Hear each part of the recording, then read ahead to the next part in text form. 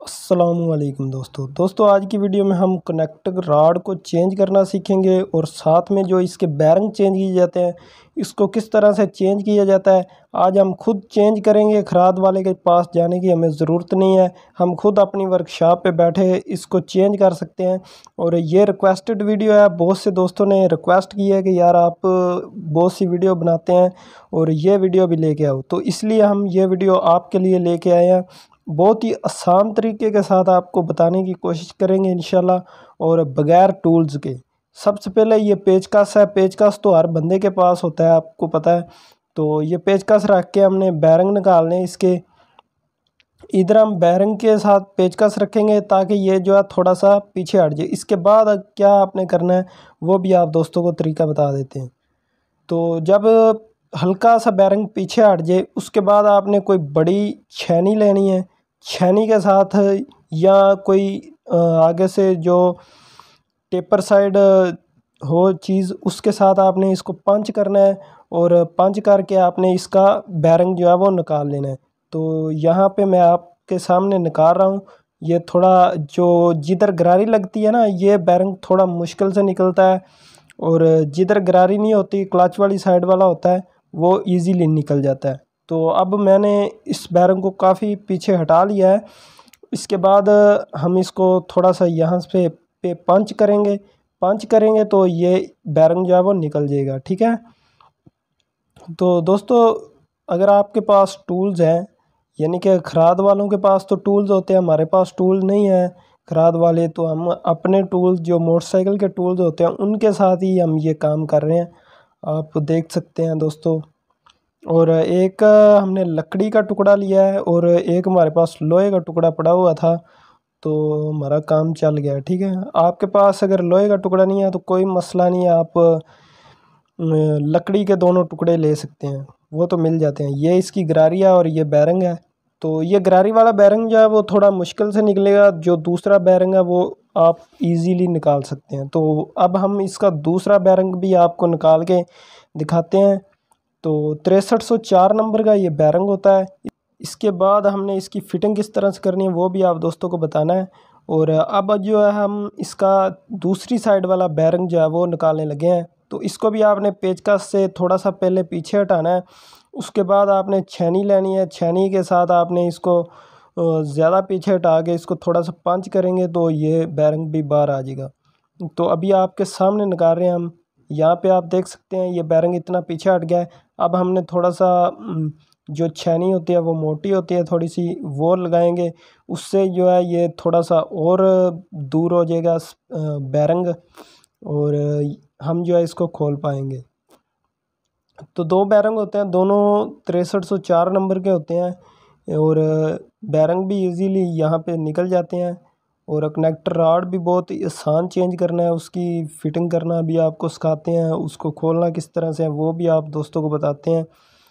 और मुकम्मल तरीक़ाकार, ये वीडियो इसलिए लंबी थोड़ी सी बनी है क्योंकि हमने हर चीज़ इसमें बतानी है। तो अब ये बैरंग जो है, हम निकाल रहे हैं। यहाँ पे आप देख सकते हैं, हम किस तरीके से चोट इसको लगा रहे हैं तो ये बैरंग बाहर आ रहा है। तो अगर बैरंग एक साइड से टेढ़ा हो जाए तो आपने दूसरी साइड से उसको पंच करना शुरू कर देना है। तो फिर जो है आपका बैरंग इजीली निकल जाएगा। यहाँ पे आप देख सकते हैं कि ये इसका दूसरा बैरंग भी निकल चुका है दोस्तों। तो इसके बाद दोस्तों हम कनेक्टर राड निकालेंगे। तो यहाँ पे आप देख सकते हैं इसमें कितनी ज़्यादा आवाज़ है क्योंकि इसका कनेक्टर राड बिल्कुल ही सीज हो चुका है पिन बैरंग इसका टूट चुका है। वो हम जब आपको निकाल के इसको दिखाते हैं और जब न्यू डालेंगे तो वो पिन बैरंग किस तरह का है और जो इसमें से निकलेगा वो किस तरह का है? इसमें मेरे ख्याल में पिन बैरंग है ही नहीं है, क्योंकि वो टूट गया है, बहुत ज़्यादा ही टूटा हुआ है। तो अभी जो है हमने ये एक लोहे का पीस लिया है, यानी कि लोहे की एक राड है हमारे पास, जो कि चोरस टाइप है। एक इक्कीस नंबर की हमने चाबी ली है।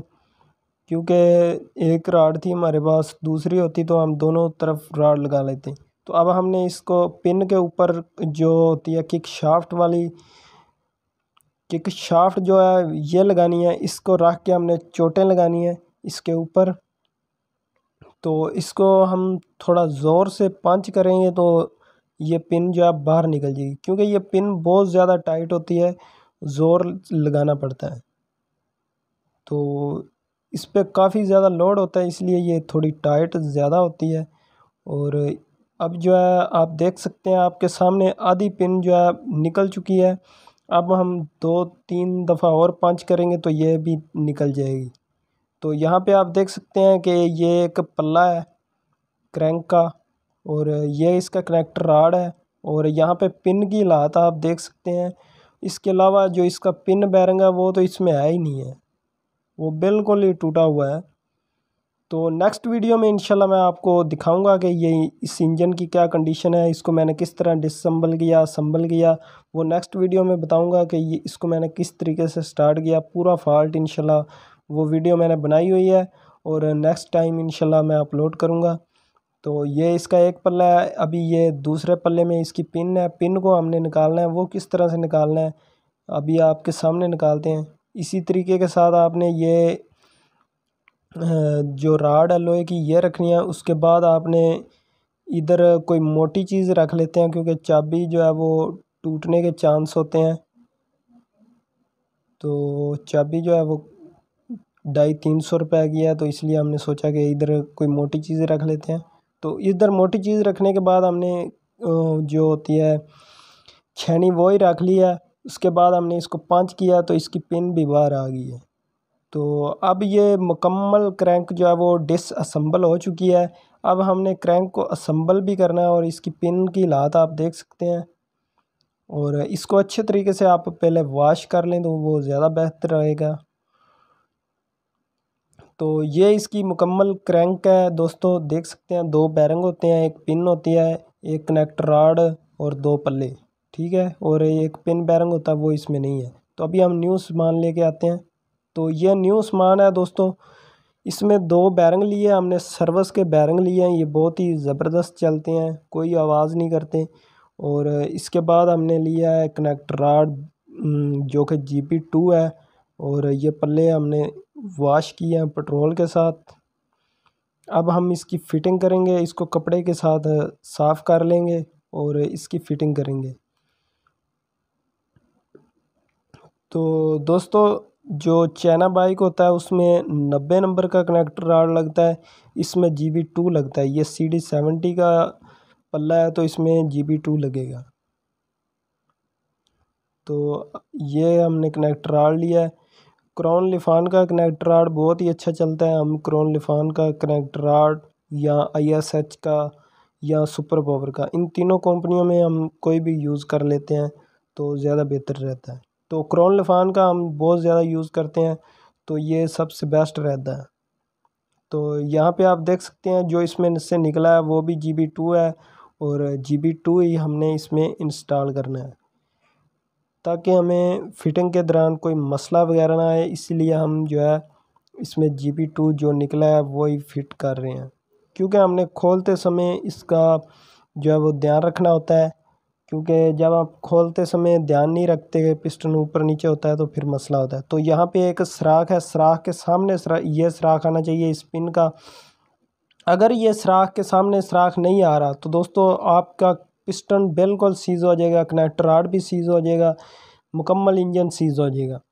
तो ये सराख बिल्कुल इसके सामने आना चाहिए, क्योंकि हमें बहुत ज़्यादा कॉल्स आती हैं कि, सर, हमारी बाइक का पिस्टन सीज़ हो गया कनेक्टर राड सीज़ हो गया, क्या मसला हो गया? क्लच प्लेट्स ख़राब हो रही हैं। तो वो यही मसला होता है कि आयल पंप नहीं इसमें हो रहा होता, क्योंकि यहाँ पे आयल नहीं आएगा तो बैरंग जो है वो खुश्क चलेगा, खुश्क चलने की वजह से जो है वो सीज़ हो जाता है। इसके बाद हमने पिन रखनी है पिन रख के इसको चोट लगानी है तो ये इजीली इसके अंदर बैठ जाएगी। यहाँ पे आप देख सकते हैं कि ये पिन आराम सुकून से बैठ गई है, कोई इसने मसला वगैरह हमें नहीं किया। तो अब हम इसमें फूंक लगा रहे हैं, फूंक लगा के देखेंगे कि यहाँ से हवा क्रॉस हो रही है कि नहीं हो रही। तो यहाँ पे बिल्कुल हवा क्रॉस हो रही है, इसका मतलब ये बिल्कुल सही बैठ गया अगर हवा क्रॉस नहीं हो रही तो आप इसको खोल के दोबारा इसकी फ़िटिंग कर सकते हैं और पिन को चेक कर सकते हैं कि पिन में तो नहीं मसला। तो इसके बाद हमने ये पिन बैरंग लगाया। यही पिन बैरंग है जो कि टूटा हुआ था आपके सामने। अब हमने ये कनेक्टर राड लगाया और कनेक्टर राड लगाने के बाद हम जो है इसकी दूसरे पल्ले की फ़िटिंग कर लेते हैं। और इसकी फ़िटिंग आपने इस हिसाब से करनी है कि ये टेढ़ा ना हो, क्योंकि जब ये टेढ़ा होगा तो फिर जो है मसला करेगा। कोयल जो है वो जल जाया करेगी। और इसके अलावा और भी काफ़ी ज़्यादा प्रॉब्लम होते हैं, वाइब्रेशन होगी। तो इसको बेहतर यही है कि आपने बिल, बिल्कुल सीधा करके फिट करना है। तो अब हम जो है हल्का से इसको फिट करके इसको चेक कर लेंगे कि ये टेढ़ा तो नहीं है। तो मैंने इसको चेक कर लिया, ये टेढ़ा नहीं है, अब हम इसकी फिटिंग कर देते हैं। तो इसी पिन के ऊपर हमने जो किक शाफ्ट होती है सी डी सेवेंटी मोटरसाइकिल की, वो लेके हम जो है इसके ऊपर पंच करेंगे। पंच जब हम करेंगे, चोटें लगाएँगे तो इसके पिन जो है वो दूसरे पल्ले में इजीली बैठ जाएगी। तो यहाँ पे आप देख सकते हैं दोस्तों, अब मैं इसको चेक कर रहा हूँ कि ये सही काम कर रहा है, कोई टेढ़ा वगैरह तो नहीं है, इसमें आवाज़ तो नहीं है। तो बिल्कुल भी इसमें आवाज़ नहीं है, क्योंकि नया कनेक्टर राड आवाज़ नहीं करता दोस्तों। तो अब जो है हम इसको चेक कर रहे हैं कि ये बिल्कुल बराबर बैठ गया है, कोई मसला वगैरह तो नहीं कर रहा। तो मेरे ख़्याल में ये बिल्कुल सही बैठा है। इधर से थोड़ा सा मुझे मसला लग रहा है तो इसलिए मैं इसको पंच कर रहा हूँ। तो अगर एक साइड से ये ऊँचा हो, दूसरी साइड से नीचा हो तो आप इसके ऊपर इस तरह की कोई लकड़ी की चीज़ रखें, उसके बाद इसके नीचे भी लकड़ी की चीज़ रखें, ऊपर से पंच करें तो ये बिल्कुल सीधा हो जाएगा। तो इस हिसाब से आपने इसको सीधा कर लेना है। कोई ऊपर नीचे ना हो। ये ना हो कि एक पल्ला ऊपर हो, एक नीचे हो तो फिर मसला करेगा। तो ये अभी बिल्कुल ही सही दोस्तों हो गया है। इसके बाद ये सर्वस के बैरिंग है। इसकी आपने सीलें निकाल देनी है दोनों साइड की। सीलें निकालने के बाद हम जो है इसको फिट करने के लिए जो पुलर बनाया, वो तो हर बंदे के पास होता है, हर मकैनिक के पास होता है। यहाँ पे जो पुलर है, वो बहुत ज़बरदस्त है। ये जो शाख राड होता है हमारे पास, ये तो हर बंदे के पास होता है चैना बाइक का शाख राड। ये लगाया, उसके ऊपर हम जो है पंच कर रहे हैं, बैरंग लगा के। ये हमने पंच किया तो ये बैरंग जो आराम सुकून से दोस्तों बैठ जाती हैं। एक तो ये लंबा होता है, इसलिए इसको हल्की हल्की सी चोटें लगानी पड़ती हैं, ज़्यादा चोटें नहीं लगानी पड़ती तो ये बैरंग जो है आराम से बैठ जाता है। तो यहाँ पे आप देख सकते हैं, बैरंग को ग्रीस भी लगी हुई है। और ये बैरंग बिल्कुल बैठ गया है। अब हमने इसका दूसरी साइड वाला बैरंग भी बिठा देना है। तो बैरंग जो है वो आप इजीली बिठा सकते हैं। तिरसठ सौ चार नंबर के बैरंग होते हैं। और चाइना बाइक में नब्बे नंबर का कनेक्टर आड़ होता है और इसमें जी पी टू होता है।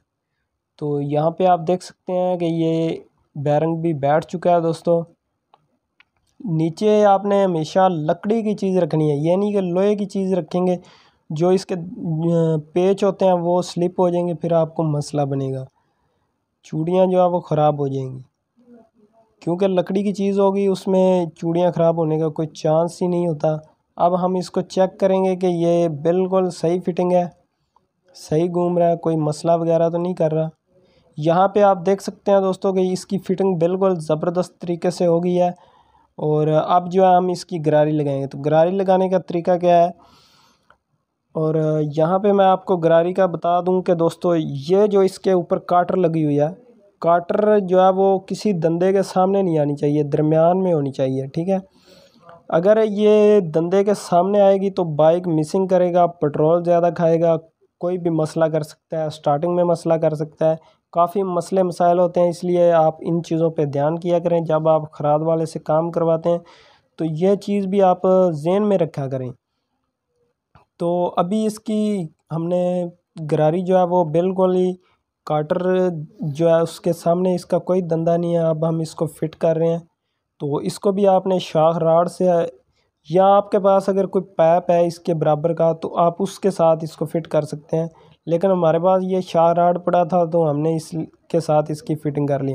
तो अब ये हमारी क्रैंक जो है बिल्कुल मुकम्मल तौर पे फिटिंग हो चुकी है। अब हम इसके ज़रिए बाइक का इंजन जो है वो फिट कर सकते हैं। तो दोस्तों, मैं उम्मीद करता हूँ ये वीडियो आपको बहुत अच्छी लगी होगी। वीडियो अच्छी लगे तो वीडियो को लाइक लाजमी करके जाएँ। कोई भी आपका सवाल हो, मोटरसाइकिल के मतलब कोई भी क्वेश्चन हो, आप नीचे कमेंट बॉक्स में पूछ सकते हैं। और मेरे व्हाट्सअप पे भी रबता कर सकते हैं तो मैं उम्मीद करता हूँ दोस्तों ये वीडियो आपको अच्छी लगी होगी। वीडियो अच्छी लगे तो वीडियो को लाइक लाजमी करके जाएँ। मेरे चैनल को दोस्तों लाजमी से सब्सक्राइब करके जाएँ। और मिलते हैं दोस्तों नेक्स्ट किसी अच्छी वीडियो में, तब तक के लिए अल्लाह हाफिज़।